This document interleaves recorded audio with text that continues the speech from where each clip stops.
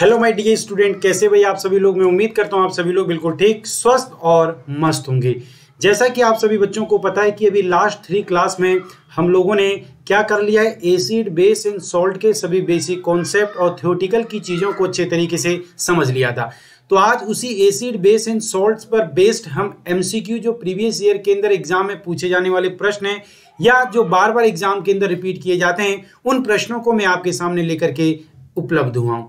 तो चलिए हम एक एक करके इन प्रश्नों को देखते हैं, क्योंकि ये प्रश्न बहुत इंपॉर्टेंट है और बहुत ही बेसिक है। मैं बार बार आप सभी बच्चों को बताता हूँ कि मैं हायर लेवल पर तब लेकर के जाऊँगा, जब आप लोग बेसिक की चीज़ों को कंप्लीट कर लोगे। तो अभी हम केवल और केवल बेसिक कर रहे हैं, ठीक है? बट यदि आप सभी बच्चे इस चैनल पर पहली बार आए तो सबसे पहले चैनल को सब्सक्राइब करेंगे और बेल आइकन के बटन को दबाएँगे, ताकि जो भी न्यू अपडेट है, वो आप तक जल्द से जल्द पहुँच सके, ठीक है? तो चले बच्चों, अब स्टार्ट हो जाते हैं। सबसे पहला क्वेश्चन ये आपके सामने एसिड बेस एंड सॉल्ट का ये मौजूद होने वाला है। अब देखते हैं कि कौन बच्चा इसका कैसे जवाब देता है। ठीक है? चलिए बच्चे, ये सबसे पहला क्वेश्चन जैसा कि मैंने आपको बताया कि एनडीए 2000 एनडीए 2023 के लिए हम ये अपनी प्रैक्टिस कर रहे हैं। केमिस्ट्री के एमसीक्यू क्वेश्चन को हम लेकर के आए किसके? केमिस्ट्री के एमसीक्यू क्वेश्चन को मैं आपके सामने लेकर के उपलब्ध हूँ। ठीक है बच्चे? तो चलिए, ये आपको दिखाई दे रहा होगा NDA 21 NDA one two chemistry MCQ किससे रिलेटेड है? एसिड बेस एंड सॉल्ट से रिलेटेड है।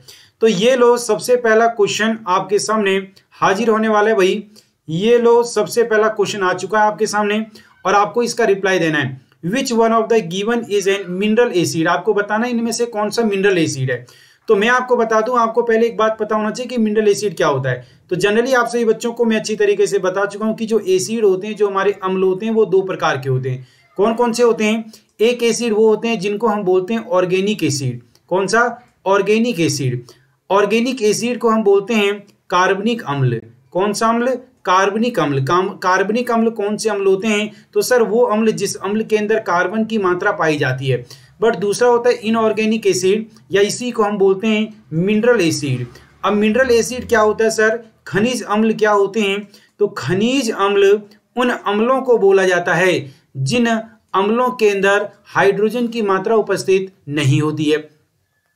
ठीक है? जिसके अंदर कार्बन की मात्रा उपस्थित नहीं होती है। यदि सही तौर पे बोलूँ तो ऑर्गेनिक एसिड वो होते हैं जो नेचुरल एसिड होते हैं, जो प्राकृतिक अम्ल होते हैं। अब नेचुरल एसिड वो होते हैं जो हमें खाने पीने के सोर्स से प्राप्त होते हैं। खाने पीने के सोर्स की बात करें, जैसे कर्ड, दही के अंदर कौन सा अम्ल होता है? तो बोलना सर ऑर्गेनिक। यदि मैं आपसे पूछूँ ऑरेंज में कौन सा अम्ल होता है? Sir organic. यदि मैं आपसे पूछूँ लेमन में कौन सा अम्ल होता है? तो ऑर्गेनिक। ये सारे के सारे नेचुरल एसिड हैं। बट यदि मैं मिनरल एसिड की बात करूँ तो मिनरल एसिड वो होता है जिनको लेबोरेटरी में सिंथेसाइज किया जाता है, जिसको लेबोरेटरी में प्राप्त किया जाता है। तो this is called synthetic acid इसे हम सिंथेटिक एसिड के नाम से भी बुलाते हैं। कृत्रिम अम्ल बोल सकते हो। जैसे सबसे पहला सिंथेटिक एसिड जो लेबोरेटरी में तैयार किया गया, वो H2SO4 उसके बाद H C L hydrochloric acid उसके बाद H N O three nitric acid तो ये हम लोगों को पता होना चाहिए कि एसिड कितने टाइप के होते हैं और किस एसिड को ऑर्गेनिक एसिड किस एसिड को हम मिनरल एसिड के नाम से जानते हैं। तो अब यहाँ पर आप लोगों को ये बात आइडिया पता चल चुका होगा कि एसिड कितने टाइप के होते हैं और एसिड को हमने दो भागों में क्यों बांटा है। क्योंकि एक नेचुरल है और दूसरा है आर्टिफिशियल तो कह रहा है which one of given is a mineral acid mineral acid वो होते हैं जो लेबोरेटरी में सिंथेसाइज किए जाते हैं। जैसे लेक्टिक एसिड नहीं, क्योंकि लेक्टिक एसिड खाने वाला होता है, जो हमें किसके अंदर मिलता है? दही में मिलता है। फॉर्मिक एसिड ये भी नहीं, ये किसके अंदर? जो लाल चीटियाँ होती है, उन चीटियों के डंक में पाया जाता है, मधुमक्खी के डंक में। टॉर्ट्रिक एसिड टॉर्ट्रेटिक एसिड किसमें अंदर पाया जाता है? तो ये इमली में पाया जाता है। किसमें? इमली में पाया जाता है या कच्चे जो आम होते हैं, आम में पाया जाता है या फिर अंगूर में हमें मिलता है।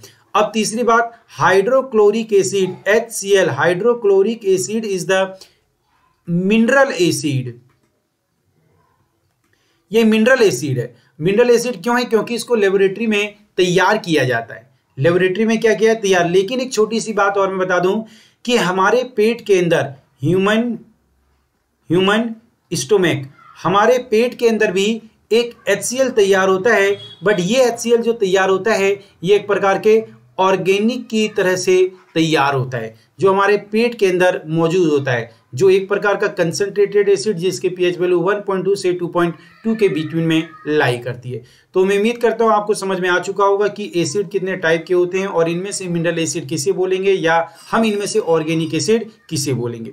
चलिए बच्चों, दूसरे क्वेश्चन की तरफ़ बढ़ जाते हैं। दूसरा जस्ट उसका अपोजिट है। Which one of the given is an organic acid अभी मैं बता चुका हूँ ऑर्गेनिक एसिड या कार्बनिक अम्ल, उन अम्लों को बोलते हैं जो अम्ल हमारे प्राकृतिक अम्ल होते हैं जो प्राकृतिक के स्रोतों से हमें प्राप्त होते हैं। किसे? प्राकृतिक स्रोतों से हमें प्राप्त होते हैं, जो हमें खाने पीने के सोर्स से प्राप्त होते हैं। जो खाने पीने की चीज़ों में हमें प्राप्त होता है, वो सारे के सारे कार्बनिक होते हैं। तो सिट्रिक एसिड, क्या इसको खाया जाता है? बिल्कुल सर, खाया जाता है, क्योंकि ये संतरा के अंदर में सिट्रिक एसिड या नींबू के अंदर हमें सिट्रिक एसिड मिलता है। दूसरा हाइड्रोक्लोरिक एसिड नहीं सर इसको नहीं खाया जाता तो ये कोई भी ऑर्गेनिक एसिड नहीं है। लैक्टिक एसिड जी सर इसको भी खाया जाता है क्योंकि ये दही के अंदर हमें मिलता है। तो अब यहाँ से हमारा आंसर ए सही होगा और हमारा आंसर यहाँ पर कौन सा सही होगा? सी सही होगा। Both one and three option D is the right answer both one and three A and C is the right answer A और सी जो होगा, वो इसका बिल्कुल सही और उचित आंसर होगा। Next question which one of the given is incorrect आपको बताना है, इनमें से कौन सा इनकरेक्ट है? इनकरेक्ट का मतलब इनमें से कौन सा गलत है? Which one of the given is incorrect acid turns blue litmus paper into red मैं आपको दो बातें याद करा देता हूँ, उसको याद रख लेना आप लोग। कि जो एसिड होते हैं एसिड के लिए मैं आपको एक नाम याद करा रहा हूँ, अनिल। क्या नाम याद करा रहा हूँ? अनिल। तो अनिल का मतलब अ का मतलब होता है अम्ल, और नी का मतलब होता है नीला, और ल का मतलब होता है लाल। तो मेरा कहने का मतलब है, अम्ल वो होते हैं जो नीले लिटमस पेपर को लाल में कन्वर्ट कर देते हैं। एक और दूसरा याद कराता हूँ, बेलन। कहोगे, सर, बेलन से क्या है? तो बे से बना बेस, बे से बना बेस, या जिसे हम छार बोलेंगे। ल से बना लाल और न से बना नीला। तो बेस वो होते हैं, छार वो होते हैं जो लाल लिटमस पेपर को नीले में बदल देते हैं। तो कहता है कि acid turns blue litmus paper into red this is the right ये बिल्कुल सही है. Aqueous solution of acid conduct the electricity ये भी बिल्कुल सही है. Aqueous solution of acid and base both conduct the electricity acid react with certain metal to form hydrogen gas ये भी बिल्कुल सही है. क्योंकि जो एसिड होते हैं acid react with certain metals to form hydrogen gas ये बिल्कुल सही है. एसिड जो होते हैं वो मेटल के साथ मिलकर के, जैसे यदि मैंने एच को मिला दिया किसी सोडियम के साथ तो सोडियम के साथ मिलाने पर ये बन जाएगा एन और प्लस में जो गैस रिलीज़ होगी वो कौन सी गैस होगी? हाइड्रोजन गैस रिलीज़ होगी। तो ये कह रहा है नन ऑफ़ दीज ये हमारा बिल्कुल सही है। इनमें से कोई सा भी इसका आंसर जो है, वो इनकरेक्ट नहीं है। सारे के सारे करेक्ट हैं। इसलिए हमारा आंसर डी जो है, वो बिल्कुल उचित रहेगा। ठीक है? चलिए भाई। नेक्स्ट क्वेश्चन नंबर थ्री है which one of the given acid is use in the treatment of bone marrow and scurvy disease अब आपको मैं बता दूँ बोन मेरो या स्कर्वी डिज़ीज़ का नाम आपने सुना होगा। स्कर्वी हमें कौन सी विटामिन की कमी से होता है? तो स्कर्वी एक रोग है जो हमें विटामिन डी की कमी से होता है। कौन से विटामिन की कमी से? विटामिन डी की कमी से होता है। तो यदि इस विटामिन डी की कमी को सॉरी विटामिन डी नहीं vitamin C not vitamin D this is the vitamin C तो हमें विटामिन सी की कमी से होता है। तो इस विटामिन सी की कमी को पूरा करने के लिए हमें विटामिन सी के सोर्स का यूज़ करना होता है। नहीं तो कुछ विटामिन सी की गोलियाँ दी जाती है डॉक्टर के द्वारा। तो विटामिन सी के जो मेन सोर्स होते हैं, वो कौन से होते हैं? वो सिट्रस फ्रूट होते हैं। सिट्रस फ्रूट यानी खट्टे फल। खट्टे फल में क्या क्या आता है? तो खट्टे फल में आएगा आंवला आपका आएगा नींबू, आपका आएगा संतरा। ये सारे खट्टे फल में आते हैं। ये सारे कौन से फल में आते हैं? खट्टे फल में आते हैं।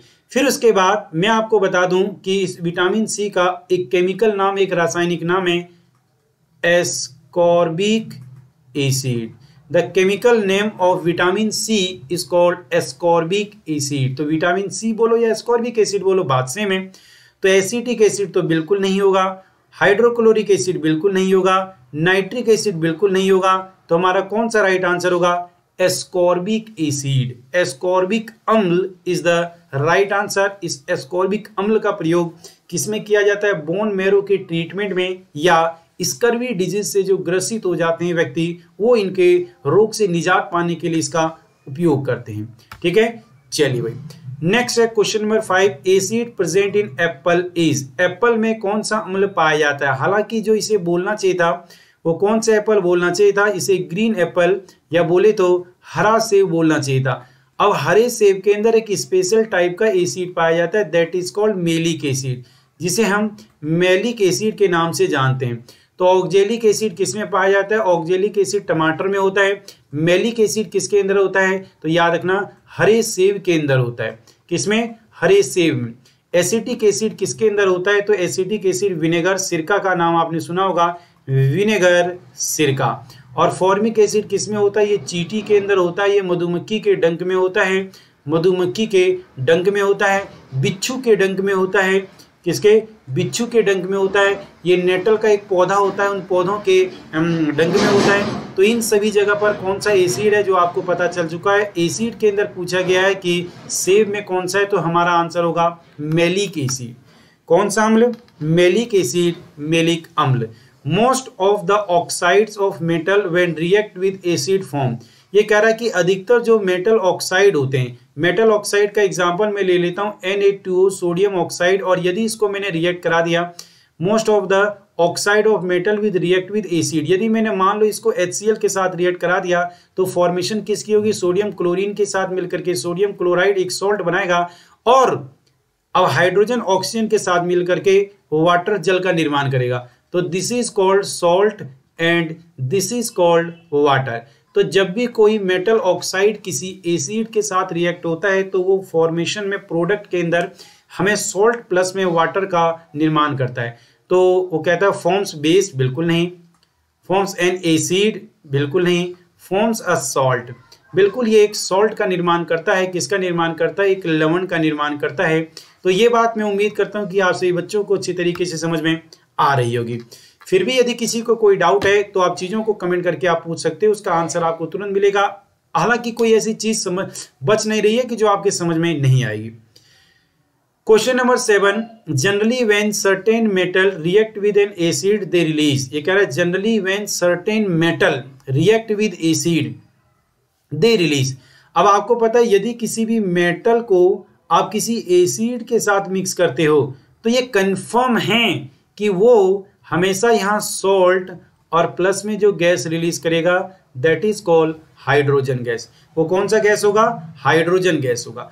अब मैं इसके एग्ज़ाम्पल भी दे देता हूँ। यदि मैं मेटल के नाम लूँ तो मान लो इस बार मैंने मैग्नीशियम ले लिया मेटल एसिड का नाम लूँ तो मान लो मैंने ले लिया इस बार H2SO4 एसिड तो मुझे कोई फ़र्क नहीं पड़ता। ये मैग्नीशियम सल्फेट के साथ मिलकर के और हाइड्रोजन इधर डायरेक्ट रिलीज़ हो जाएगा। तो मैग्नीशियम सल्फेट का ये सॉल्ट है और हाइड्रोजन एक वाटर है। तो ये कौन से गैस को रिलीज़ करेगा? तो याद रखना hydrogen gas is release hydrogen gas is release next question number eight प्रश्न संख्या आठ which one of the given is use which on the given is form when the sodium hydrogen carbonate react with hydrochloric acid तो ये chemical reaction आपको याद रखना बहुत ज़रूरी है। देखो, जब sodium hydrogen carbonate sodium hydrogen carbonate. जब रिएक्ट करता है किसके साथ? हाइड्रोक्लोरिक एसिड के साथ। एच के साथ रिएक्ट करता है तो ये क्या फॉर्मेशन करता है? तो मुझे पता है कि यहाँ एक प्रकार का सॉल्ट बनेगा और सोडियम जब भी क्लोरीन के साथ मिलता है तो सोडियम क्लोराइड बनाता है और प्लस में इसके साथ H2O एक गैस रिलीज़ हो H2O वाटर रिलीज़ होगा और जो इस बार गैस रिलीज़ होगा, वो गैस होगा कार्बन डाइऑक्साइड वो गैस होगा कार्बन डाई ऑक्साइड अब मैं बता दूँ, ये कार्बन डाइऑक्साइड जो है, एक प्रकार का आग बुझाने वाली गैस है। इसको फायर एक्सटीयूजर गैस के नाम से बुलाया जाता है, आग बुझाने वाली गैस। क्योंकि कार्बन डाइऑक्साइड का प्रयोग हम आग बुझाने में करते हैं, और कार्बन डाइऑक्साइड वाटर में बहुत ही इजीली डिजोल्व हो जाती है, आग बुझाने वाली गैस। फायर एक्सटिंग्यूजर गैस के नाम से इसको हम जानते हैं।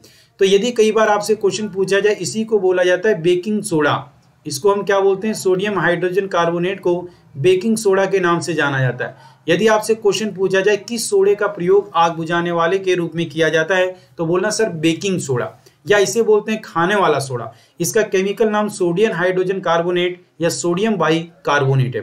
तो कौन सा इसमें से सही जवाब होगा? A, sodium chloride, B, carbon dioxide, C, water, and D, all of these. तो कह रहा है then react with hydrochloric which one of the following when the sodium hydrogen carbonate react with तो सोडियम क्लोराइड भी बन रहा है carbon dioxide भी बन रहा है वाटर भी बन रहा है. इसका मतलब ऑप्शन डी जो है, वो बिल्कुल सही होगा. Option D is the right answer सारे के सारे प्रोडक्ट के अंदर हमें ये प्राप्त हो रहे हैं. नेक्स्ट क्वेश्चन नंबर नाइन प्रश्न संख्या नौ. स्ट्रॉन्ग एसिड इज़ एक स्ट्रॉन्ग एसिड की क्या पहचान होती है?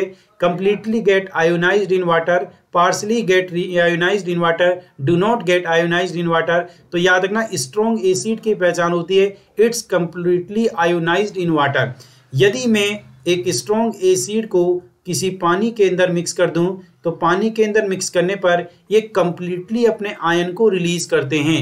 कंप्लीटली अपने आयंस को क्या कर रहे हैं? रिलीज़ कर रहे हैं। एस थ्री ओ प्लस और सी एल माइनस को ये बिल्कुल सेपरेट कर देता है। लेकिन यदि मैं बेस की बात करूँ तो बेस के अंदर ऐसी पॉसिबिलिटी नहीं होती है। सॉरी यदि मैं वीक एसिड की बात करूँ तो वीक एसिड के अंदर आयंस तो रिलीज़ होते हैं बट कंप्लीटली रिलीज़ नहीं होते हैं, वो पार्सली रिलीज़ होते हैं। तो यदि पार्सली रिलीज़ की बात कर रहा है तो वो वीक एसिड है, और यदि वो, और यदि वो कंप्लीटली रिलीज़ की बात कर रहा है तो वो स्ट्रॉन्ग एसिड है। कौन सा एसिड है बच्चे? वो एक प्रकार का स्ट्रॉन्ग एसिड है, यानी एक प्रकार का प्रबल अम्ल है। ठीक है? चलिए भाई। चलिए चलिए बच्चों, आगे हम अगले प्रश्न की तरफ़ बढ़ जाते हैं। Which of the given is a strong base which of the given is a strong base आपको बताना इनमें से कौन सा एक स्ट्रॉन्ग बेस है? Calcium hydroxide magnesium hydroxide ammonium hydroxide और पोटेशियम हाइड्रोक्साइड। तो इनमें से स्ट्रॉन्ग बेस कौन सा है? याद रखना, इसी को बोला जाता है सिलेक्ट लाइम या इसको बोलते हैं बुझा हुआ चूना।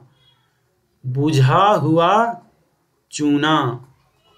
इसको बोलते हैं मैग्नीशियम हाइड्रोक्साइड, या इसको बोला जाता है milk of magnesia milk of magnesia milk of magnesia और यह ammonium hydroxide ammonium hydroxide.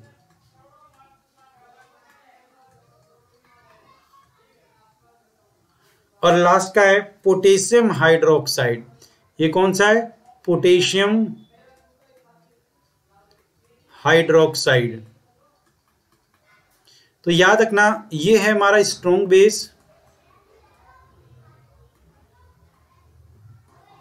But ये सारे के सारे हमारे हैं वीक बेस कैसे हैं? वीक बेस और वीक बेस को हम एज अ एंटासिड्स के रूप में यूज़ करते हैं। एंटासिड्स का मतलब प्रति अम्ल के रूप में प्रयोग करते हैं। प्रति अम्ल का मतलब जब हमारे पेट में एसिडिटी बन जाती है, जब हमारे पेट में अम्ल की मात्रा ज़्यादा हो जाती है या अम्लता हो जाती है तो उस अम्लता से प्रभाव को कम करने के लिए हम बेस का यूज़ करते हैं, हम किसका यूज़ करते हैं? क्षार का। क्योंकि आपको पता है कि जब एक एसिड एक बेस के साथ मिलता है, जब एक एसिड एक बेस के साथ मिलता है, तब हमें पता है कि वो इधर प्रोडक्ट में सॉल्ट और प्लस में H2O का निर्माण करता है। मतलब ना तो ये एसिड नेचर का बचा और ना ही ये बेस नेचर का बचा। जब एसिड और बेस दोनों एक दूसरे के साथ कंप्लीटली मिक्सड होते हैं तो ना तो फॉर्म प्रोडक्ट में एसिड मिलता है और ना ही बेस मिलता है। तो क्या मिलता है? तो बोलना एसिडिक बेस के नेचर का होता ही नहीं है। तो सॉल्ट एंड वाटर इस केमिकल रिएक्शन को आपको पता है न्यूट्रलाइजेशन या इसको उदासीनीकरण उदासीनीकरण के नाम से जाना जाता है। इसको किस नाम से जानते हैं? इसको हम उदासीनीकरण के नाम से जानते हैं। ठीक है भाई? तो इसका ऑप्शन डी जो है, वो बिल्कुल राइट आंसर है। चलिए नेक्स्ट क्वेश्चन की तरफ़ बढ़ते हैं। क्वेश्चन नंबर इलेवन प्रश्न संख्या ग्यारह। Which of the given is use as an antacids अभी एंटासिड्स का ज़िक्र किया जा रहा था और ये एंटासिड्स हमारे सामने आ चुका है। Which of the given is use as an antacids इनमें से कौन सा एक प्रकार का एंटासिड्स है? कौन सा एक प्रकार का प्रति अम्ल है? Sodium hydroxide N A O H calcium hydroxide C H whole twice magnesium hydroxide M G O H whole twice तो कह रहा है which of the given is an antacids इसको तो हम सोडियम हाइड्रोक्साइड को एंटासिड्स के रूप में यूज़ नहीं कर सकते। क्यों यूज़ नहीं कर सकते? क्योंकि ये एक प्रकार का स्ट्रॉन्ग बेस है। और मैंने बताया कि एंटासिड्स के रूप में हम वीक बेस का यूज़ करते हैं। तो ये भी वीक बेस है और ये भी वीक बेस है। तो हमारा आंसर इन दोनों दोनों के दोनों सही होंगे। तो ऐसा यहाँ पर दे दिया जाना चाहिए। ऑल ऑफ़ द अबव ये गलत दिया है। इसकी जगह पर दिया जाना चाहिए बोथ बी एंड सी तब हमारा राइट आंसर ऑप्शन डी हो जाएगा। लेकिन फिर भी यदि इन दोनों में से किसी एक को चूज़ करना पड़े तो उसमें आप इसको चूज़ करना ये बात आपको याद रखना है, क्योंकि एंटासीड्स के रूप में एंटासीड्स के रूप में इसका प्रयोग ज़्यादातर किया जा रहा है। कहाँ पर आपने इनो देखा होगा, इनो पीते हो ना तो इनो जो होता है, वो इनो तो कंपनी का नाम है, बट इनो में कौन सा केमिकल मिला होता है तो याद रख लेना मैग्नीशियम हाइड्रोक्साइड। डाइजीन, गैसोफास्ट या कोई भी ऐसा केमिकल जो आप यूज़ करते हो किसके लिए? एसिडिटी से रिलीफ पाने के लिए तो उन सभी के अंदर केवल और केवल एकमात्र मैग्नीशियम हाइड्रोक्साइड का प्रयोग किया जाता है। चलिए बच्चे, अगला question which one of the given is the pH value of pure water pure water का पीएच मान क्या होता है? सबसे पहले आपसे यही पूछा जाएगा, शुद्ध जल किस जल को बोलते हैं? तो याद रखना, वर्षा के जल को, किसके? वर्षा के जल को शुद्ध जल बोलते हैं। प्योर वाटर इज़ कॉल्ड शुद्ध जल। किसके? वर्षा के जल को शुद्ध जल बोला जाता है, वर्षा के जल को। और याद रखना, वर्षा के जल का पीएच मान कितना होता है? तो यदि ये प्योर है तो इसका पीएच मान होता है सेवन और यदि इसका पीएच मान सेवन है तो ना तो ये एसिड है और ना ही ये बेस है। ये कैसा है? ये उदासीन है। कैसा है ये? उदासीन है। तो यहाँ पर उसकी पीएच वैल्यू पूछिए तो पीएच वैल्यू हमारी हो जाएगी कितना? सात। लेकिन लेकिन जैसे जैसे वर्षा के जल का पीएच मान कम होता जाएगा और कम होते होते यदि यदि रेन वाटर की पीएच वैल्यू यदि किसकी?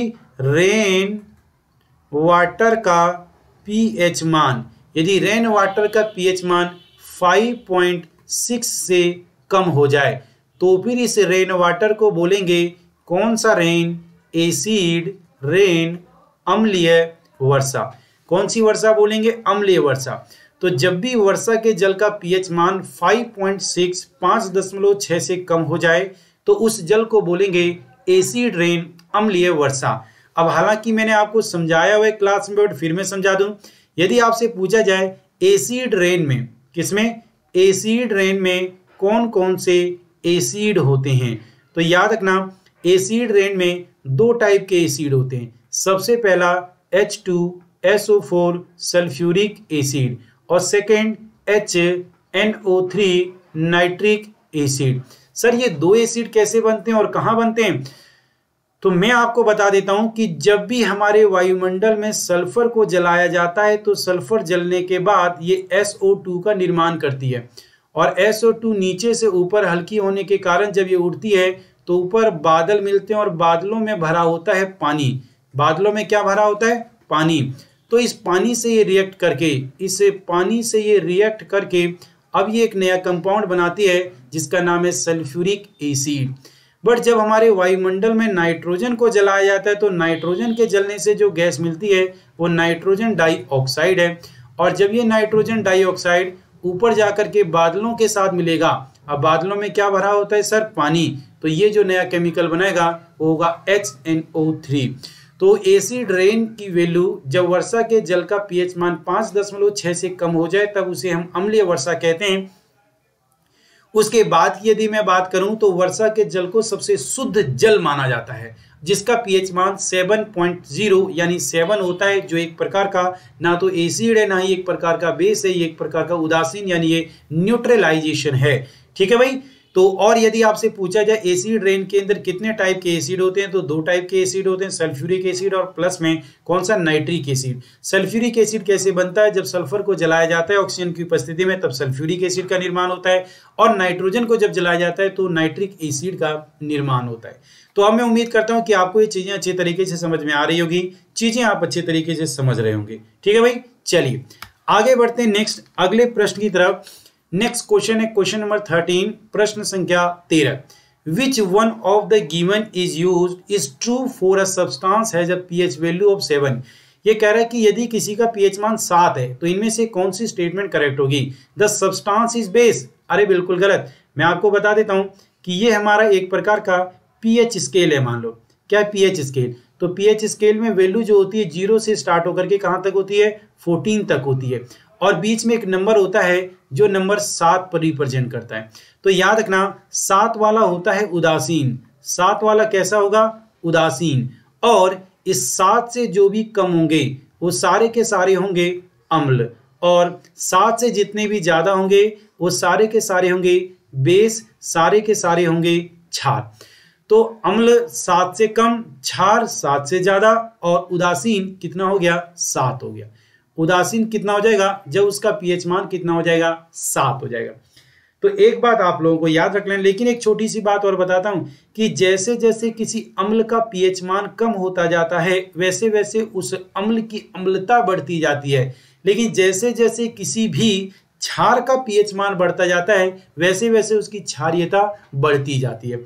दूसरी एक और सबसे बड़ी बात, इस पीएच स्केल की यदि मैं बात करूँ तो पीएच स्केल का मतलब क्या होता है? पीएच स्केल का मतलब क्या होता है? एक बार बताओ कमेंट करके what is the full form of pH scale तो pH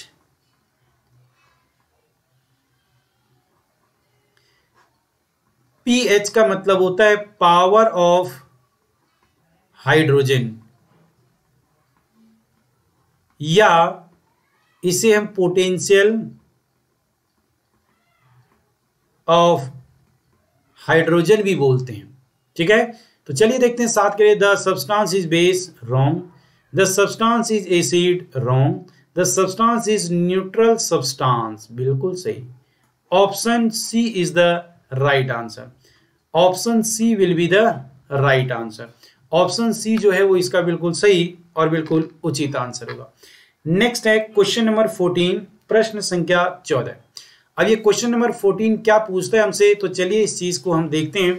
In which one of the given reaction a salt is react with base ये कह रहा है, इनमें से कौन सा ऐसा रिएक्शन है जिसमें सॉल्ट जो है, वो बेस से रिएक्ट कर रहा है? किसे? सॉल्ट सॉल्ट का मतलब है लवण, यानी नमक, जो रिएक्ट कर रहा है, वो किससे बेस से, यानी क्षार से। तो चलिए पहचानते हैं।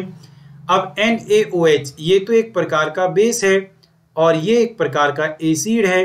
तो हमें पता है कि हमें किसको, हमें सॉल्ट को किससे रिएक्ट कराना है? सॉल्ट प्लस बेस को रिएक्ट कराना है।